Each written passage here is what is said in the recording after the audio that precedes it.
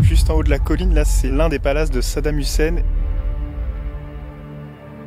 Voilà, ça c'est vraiment les trois questions qu'on a à chaque fois. Dans les villes, en général, je préfère quand même avoir euh, le voile.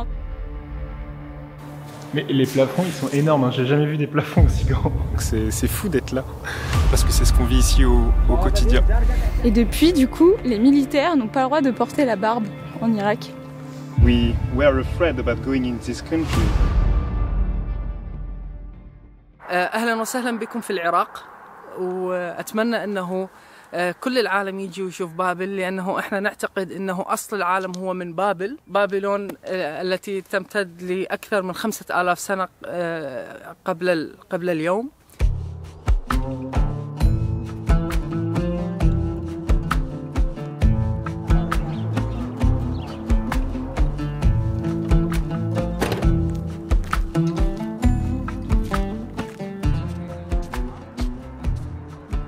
You are welcome in Babylon City.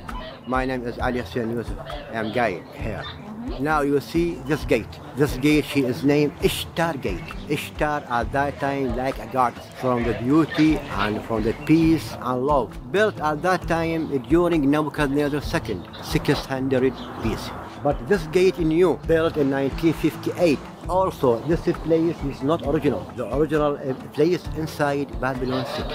And in this gate is two animals because the people at that time he believed about this animal a goddess. The first one, his name in Babylonian language, Marduk. Marduk is legendary animal. He collect many strong animals in one. The chief god at that time. And the second animal, his name Adad, god from the rain, from the earth, from the sky. Now this animal you see inside Babylon city original during Nebuchadnezzar until today 2600 years. Why the German he took with him? In 1899 he come here many group from the German he worked he dig in the earth when you found like many pieces. In 1902 go to the German and he built in El Bergamo about 10 years. My opinion in the German is very better. Why? Because he's uh, protected from the weather, from the people, everything. You are welcome. Thank you very much. Thank you. You are welcome. Nous passons sous la nouvelle porte d'Ishtar, au teint de criarde, pour pénétrer dans la cité reconstituée de Babylone. Nos premiers pas nous conduisent devant la carte du monde babylonienne multimillénaire et celle de l'actuel Irak, où Ali nous expose avec passion l'incroyable richesse historique du pays et toutes les merveilles qu'il reste encore à découvrir. D'ailleurs, avant notre découverte des villes saintes irakiennes, nous avions visité l'immense ziggurat d'Our, un édifice religieux aux proportions spectaculaires, construit il y a 4600 ans par les Sumériens, ce peuple qui serait à l'origine de l'écriture.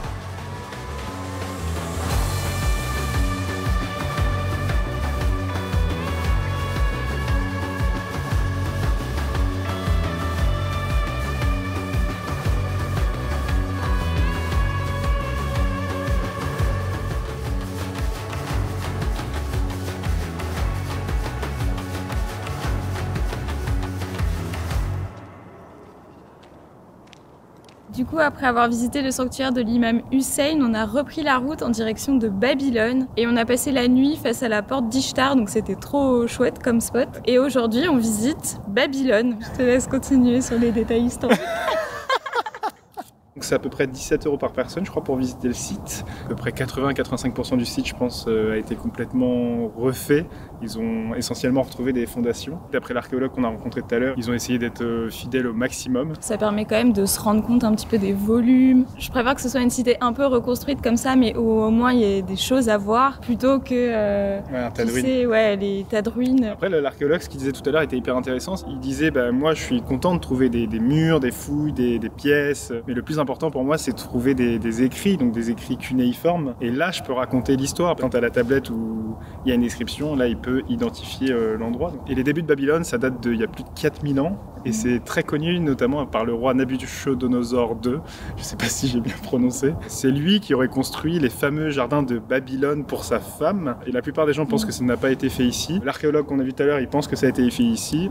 Et il aimerait absolument trouver la tablette qui le prouve. Pareil, il y a des historiens qui pensent qu'Alexandre le Grand serait mort dans cette cité. Donc c'est assez fou, c'est une cité qui est hyper importante. Et donc là, comme on est en Irak, si c'était par exemple, je sais pas, en Italie, ça serait blindé de monde. Il y a personne. personne. Et on pense vraiment que l'Irak, dans l'avenir, ça pourra être une destination euh, touristique. Ça va prendre beaucoup de temps avant que les gens puissent refaire confiance, je pense, euh, ou faire confiance à ce pays. Selon nous, il y a un énorme potentiel euh, touristique. نتمنى الجميع انه يزورون العراق ويزورون بابل واحنا نشوفهم وهم يشوفونا ويشوفون العمق الحضاري لبلدنا ولمدينتنا.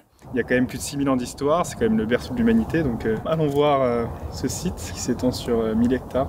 1000 hectares Ouais.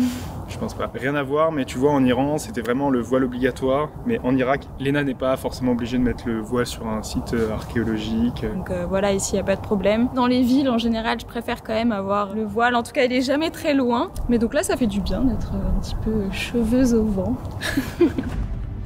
Babylone signifie porte des dieux et elle est située au cœur de la Mésopotamie. Autrefois, elle surpassait toutes les autres par ses richesses et sa grandeur. Aujourd'hui, elle doit sa notoriété au jardin suspendu, l'une des sept merveilles antiques du monde, au passage des plus grands conquérants de l'histoire, tels que l'empereur perse Cyrus ou encore le macédonien Alexandre le Grand, mais aussi à son apparition dans les textes bibliques avec la légendaire Tour de Babel.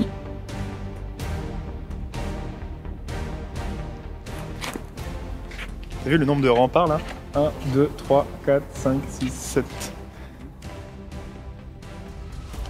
Marchions dans ces espaces partiellement reconstitués sur les fondations originelles de cette merveille. Ils sont vides, laissant jouer pleinement notre imagination.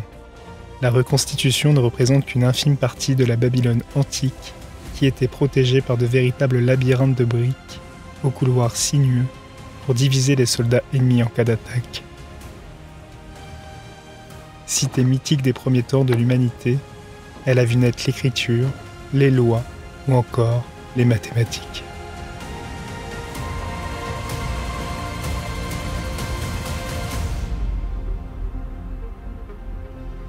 Là, on voit des murs qui sont tenus par des structures en bois et c'est les murs d'origine du coup de la cité qui sont en très mauvais état. Ils ont l'air euh, trois fois plus épais que ceux qui ont été reconstruits. Ça devait être une sacrée cité quand même.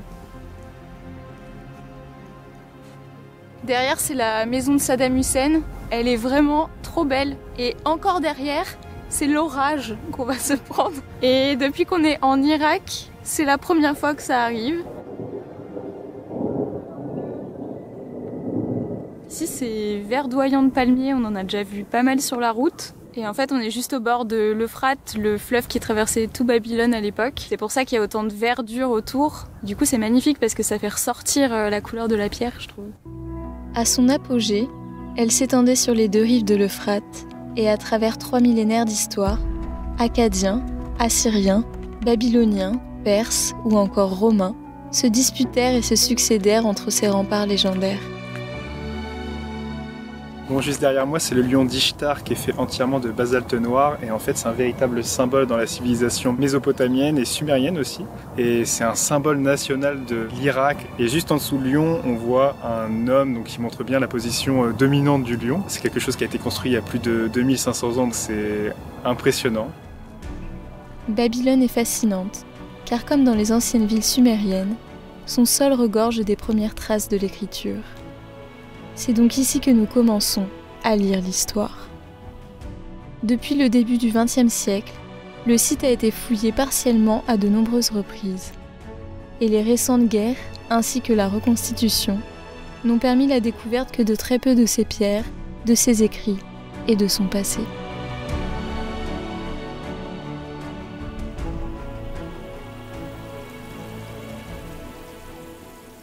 Entre deux visites, on se fait une petite casserole de popcorn.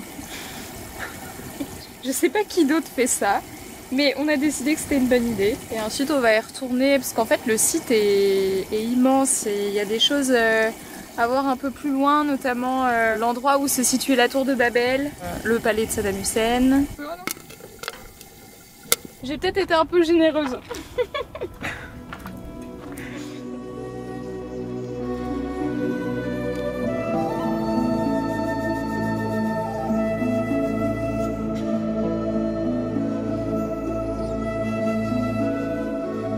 du coup c'est un truc de fou, on est juste à côté de la fameuse tour de Babel, en tout cas la légendaire tour de Babel. Je sais pas si tu connais la légende mais en gros euh, il y a très très longtemps, les hommes ne parlaient qu'une langue et ils ont fait en sorte de construire une tour parce qu'il me semble qu'ils voulaient atteindre les dieux pour montrer que eux aussi ils étaient euh, très puissants. Et les dieux pour les punir et les empêcher de mener à bien ce projet, ils ont donné à chacun des ouvriers qui construisaient cette tour de Babel une langue différente et du coup ça a complètement tout désorganisé et dans la légende du coup ils n'ont pas réussi à atteindre euh, le ciel. Ça serait de cette légende que seraient nées toutes les langues différentes dans le monde. C'est fou d'être là. A priori, ce serait une tour qui faisait euh, plus de 7 étages, où il y a différentes légendes qui disent que ça faisait même euh, plusieurs dizaines de mètres de haut, voire euh, centaines. Aujourd'hui, c'est plus qu'un énorme tas de gravats, mais c'est un immense carré, donc on se dit que quand même il y avait un monument très important dans le coin, mais c'est vrai que là on peut plus rien identifier, c'est complètement en ruine.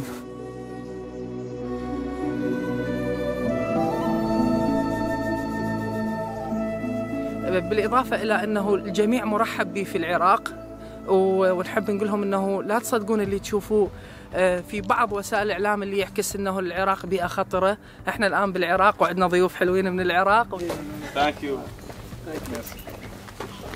Bon, comme d'habitude, on est accueillis comme jamais en Irak. Les gens s'arrêtent devant nous pour prendre une photo. Ils nous souhaitent la bienvenue, ils nous remercient d'être là. C'est toujours un moment chaleureux et ça arrive encore plus régulièrement qu'en Iran.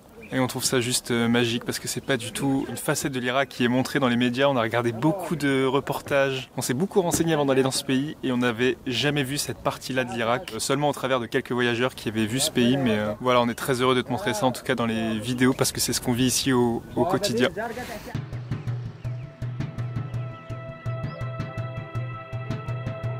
Juste en haut de la colline, là, c'est l'un des palaces de Saddam Hussein. Je sais pas si tu connais un petit peu euh, cet homme en dehors de tout ce qu'on a entendu dans les médias, mais c'était aussi un mégalo apparemment parce qu'il s'est construit un énorme palace avec une vue sur tout Babylone. On va aller visiter ça tout de suite. Je pense que ça va être euh, saisissant comme euh, comme ambiance. En tout cas, à première vue, le palace, il en jette et même de loin, il est balèze. Donc je pense qu'à l'intérieur, ça va être des énormes pièces et tout. On va voir ça.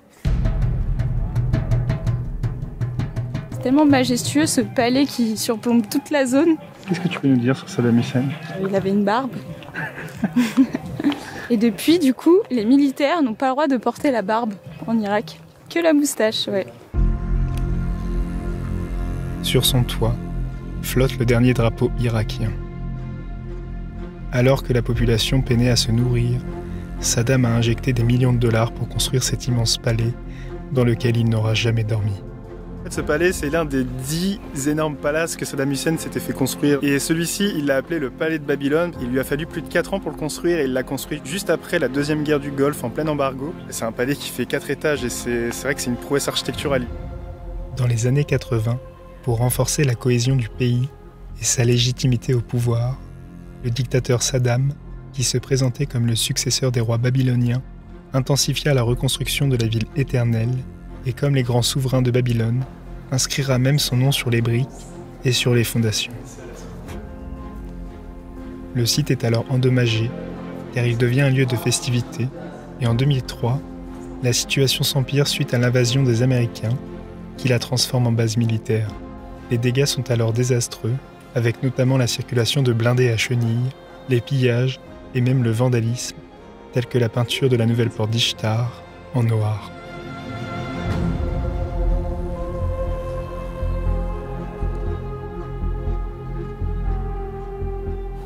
Mais les plafonds, ils sont énormes. Hein. J'ai jamais vu des plafonds aussi grands. C'est dommage qu'on puisse plus accéder aux étages. Si on y va, ça s'appelle de l'urbex, non? Ouais, enfin, il y a des gros barbelés quand même enjambés avant. C'est pas trop abîmé pour l'instant, je trouve. Il y a surtout des tags sur les murs, mais sinon c'est plutôt, c'est plutôt cool. C'est fou de se dire qu'il a foulé euh, ce sol et tout. C'est magnifique et puis surtout ce qui est trop beau, c'est euh, la vue qu'on a, vu qu'on surplombe euh, toute la zone. On a une vue imprenable sur tout Babylone, sur les palmeraies. C'est magnifique. Ah, c'est une petite pièce.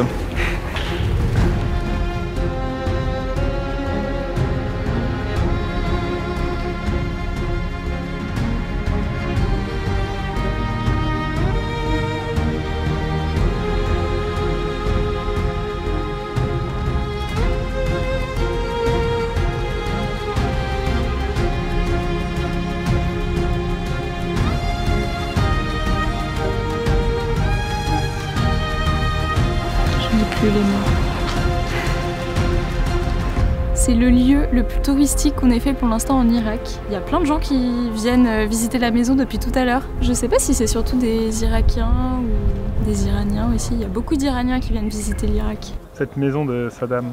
J'aime beaucoup l'architecture extérieure, je trouve ça trop beau le côté euh, pyramidal. C'est beau de loin, c'est beau de près, franchement ça vaut le coup de venir ici. Ouais, de s'imaginer euh, ce qu'il a pu se passer dans ce bâtiment aussi, c'est assez fou.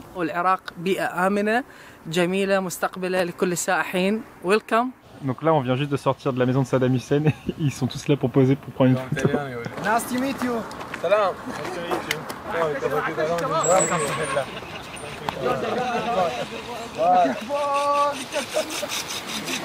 Non, franchement, ils sont trop sympas. À chaque fois, ils demandent des photos. On a l'impression d'être des stars.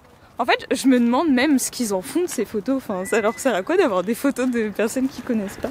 Des fois, il y a des gens, juste ils arrivent, ils prennent une photo et ils repartent. Bah, ça doit être tellement rare d'avoir des touristes ici qui le montrent à tout le monde, je pense. Et on a vu des Français, ça doit être fou en fait. Mais ils sont trop gentils. Et à chaque fois, ils nous souhaitent la bienvenue dans le pays. Et ils nous souhaitent un bon séjour. Et c'est trop agréable d'être accueillis comme ça. Par contre, c'est vraiment euh, typique aux hommes, parce que les femmes, jamais, elles nous arrêtent pour prendre des photos. Il y en a certaines qui m'ont demandé de les prendre en photo à la mosquée euh, Imam Ali. Elles étaient trop contentes. Bon, après, ça reste assez rare quand même. Les hommes, ils restent vraiment souvent regroupés entre eux, et puis les femmes, c'est pareil. On verra à Bagdad. Ouais, on verra à Bagdad. En tout cas, à chaque fois, les premières questions, c'est d'où vous venez? Est-ce que vous êtes mariés? Frères et sœurs, parce qu'à chaque fois ils pensent qu'on est frères et sœurs. Et euh, est-ce que vous avez des enfants? Voilà, ça c'est vraiment les trois questions qu'on a à chaque fois. Et du coup, euh, on répond toujours qu'on est marié. Bah, on trouve ça plus simple de, dire qu'on est marié plutôt que d'après euh, devoir répondre à tout un tas de questions. Mais comment ça, vous n'êtes pas marié C'est vrai que déjà, quand on leur dit qu'on n'a pas d'enfants, alors que ça fait bientôt 6 ans qu'on est ensemble, ils comprennent pas. Parce que eux, dès qu'ils se marient, direct ils font des enfants. Et quand ils se rendent compte, ils se marient direct. Nous finissons notre découverte du site dans ce théâtre de 2500 places, construit à la demande de Saddam Hussein. Celui-ci permettait d'accueillir une partie du festival de Babylone qui se déroulait de 1985 à 2003 et de nombreuses autres festivités.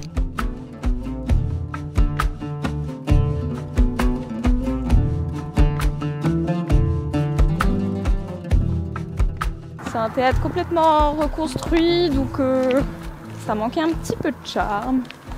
Mais ça reste toujours très joli les théâtres. En tout cas, il n'y avait personne. Pourtant, les gardes, à chaque fois qu'on leur pose la question de savoir s'ils ont des touristes, ils nous disent oui, oui, on a plein de touristes, il y a des bus de touristes qui viennent tous les jours avec des gens du monde entier. Et ils nous ont tous dit ça depuis le début, mais on n'en a pas vu la couleur. Enfin, nous finissons notre visite avec une interview inopinée pour la télévision irakienne. Oh, uh, um, uh, you speak like this? All right. What about your journey in Iraq? Uh, you know, it's been now more than one year we are traveling, and when we started, all our family and all our friends said, Iraq is dangerous, you shouldn't go there, because the project was to go in Middle East, you know, and uh, so we were afraid about going in this country. But since many months we are taking some information for many, many travelers, and everybody said in Iraqi people are very welcoming and you can trust it's very safe. There are a lot of checkpoints and many major sites like Babylonia, which is amazing. We are very surprised uh, with how people welcome us because it's just amazing in the street. People give, gave us some food, take pictures with us, a lot of people smile and we feel very safe in this country. We are very happy to make YouTube video about your country because I think you have a very big potential to become a, very good touristic destination. So we are very honored to be here. We are very honored to present your people and to visit your country, which is amazing. And we wish you the best for the following years. And we love you. We love this country. Thank you very much. Shukran. Alors, ces premières impressions à la télé irakienne? C'est pas évident, c'est assez stressant de se dire qu'il y a 40 millions de personnes qui vont voir cette interview. non, on n'a aucune idée de ce qu'est sa chaîne, mais euh, j'espère qu'on pourra faire passer un beau message auprès de la population irakienne qui nous accueille vraiment très très bien et ça nous fait chaud au cœur. C'est avec plaisir en tout cas qu'on peut faire ce genre de, de témoignage. Je pense que c'est important pour le pays. Dans la prochaine vidéo, nous t'emmenons dans la capitale irakienne, Bagdad, dans laquelle nous passerons un séjour bien plus long que nous l'avions imaginé.